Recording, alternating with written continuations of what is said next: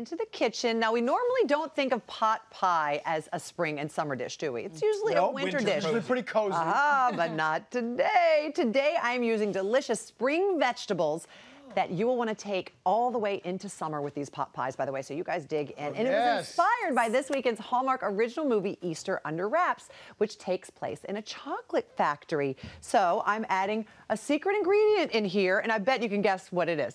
It's not chocolate. Chocolate? It's chocolate. Get out. Chocolate in the pot What? pie? Yes, it's chocolate pot pie, but you'll see it's just it's it's a taste that you keep thinking like, hmm, what is that taste? And it adds a sort of depth of flavor, but it's not overwhelming. It's really Yeah, good. I like it. So then you can love tell your kids that they're eating chocolate for dinner.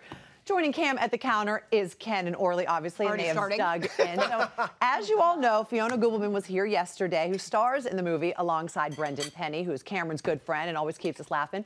So Fiona's character, Erin, goes undercover at her family's chocolate factory to find out why sales are down. And while she's there, she meets the head chocolatier, played by Brendan. His name is Brian. Together, they decide to bring back the legendary Cavendish egg as a way to boost sales and maybe, just maybe, in the midst of all that delicious chocolate, they'll also find some love. So working in the chocolate factory, by the way, sounds like it would be fun, right? Like Right. like Willy Wonka. Right. Well, not so much. Take a look.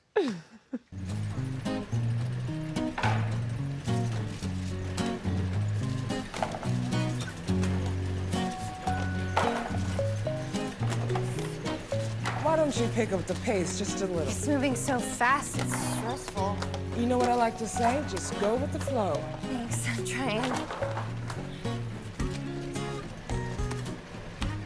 What are you wearing on your feet? Aren't they cute? Honey, those are not sensible work shoes. Oh, thank goodness. It has been such a long day and I am exhausted. Girl, you're funny. That's lunch. Not a walk in the park for Erin. no. That's, but it's kind of like Undercover Boss. I love the premise of this movie, yeah. right? It's so great. All right, so I thought, inspired by this movie, why not put some chocolate in some pot pies? Because I love pot pies, I love chocolate, and that way Alexandra will think that she's having dessert for dinner. I like your right? style. Why not? it, I like know it. you'd like this as well, I'm Orly. into it. Very easy to do this. Uh, you can make your own puff pastry for the lids, but why bother? There's so much great puff pastry at the grocery stores now, and making puff pastry is wonderful and it's delicious, but it's equally as delicious in the aisles of your grocery store. So that's very easy. Get, I'm, I'm not kidding. A lot It easier. takes a lot of work. So get your favorite puff pastry, and you're going to want to. They come in little sheets like this usually. You're going to want to find a lid that is a little bit bigger, not a lid, excuse me, a um, a little saucer like this that's a little bit bigger than your ramekin. Because when you cook your puff pastry, when you bake it, it's going to shrink. So you want to have something that fits over, you see, so it doesn't fall in. If it falls in, it's not that big of a deal. It's really just aesthetic. So what you do is you put that on your puff pastry, you take a paring knife and you just go around just like this, very easy. It's like you're cutting out a circle, just like that. I didn't know puff pastry shrinks. That's so cool. Yeah.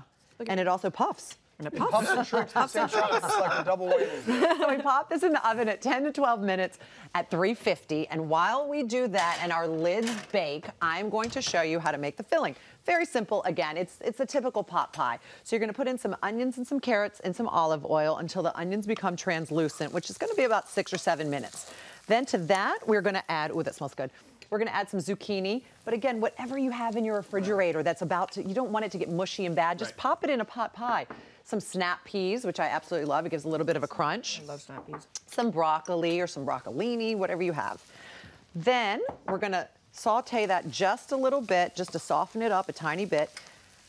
After that softens a few minutes, like three or four minutes, we're gonna add our milk and some chicken broth, very simply. And we're gonna let that simmer for a few minutes, again, about four minutes.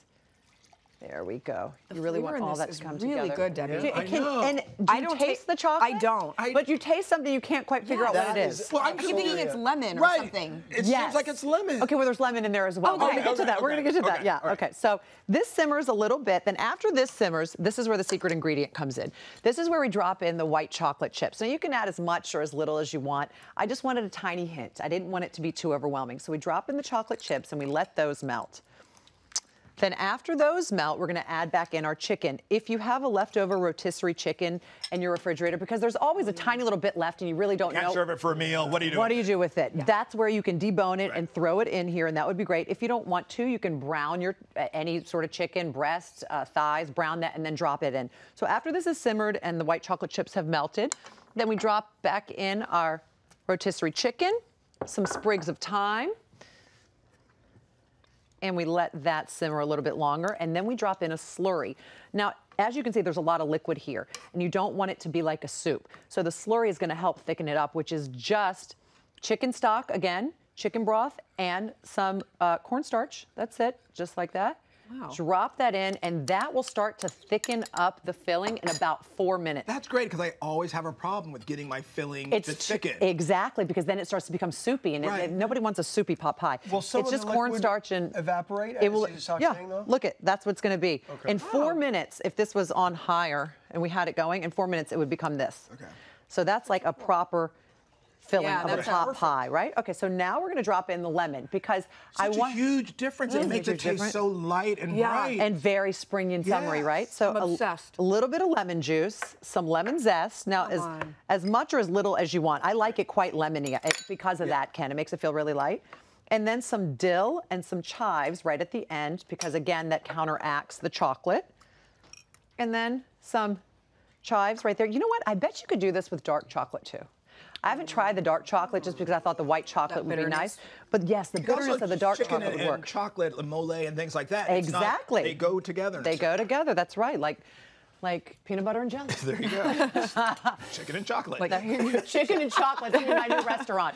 My autobiography, Chicken and Chocolate. Look out for it. Stores near you. All right. So now we take our little ramekin. We fill it up with our filling, just like that. It's delicious. And by the way, if you don't want to use the puff pastry, you don't have to use the puff pastry. I sort of just like the filling as it is. It's, It's so mm-hmm. tasty. so good, Right. Debbie. And put our little lid on top from our puff pastry. so and you adorable. dig in. now you get to have a little Dig in. taste too, Deb. So I get to break Have a through. bite, everybody.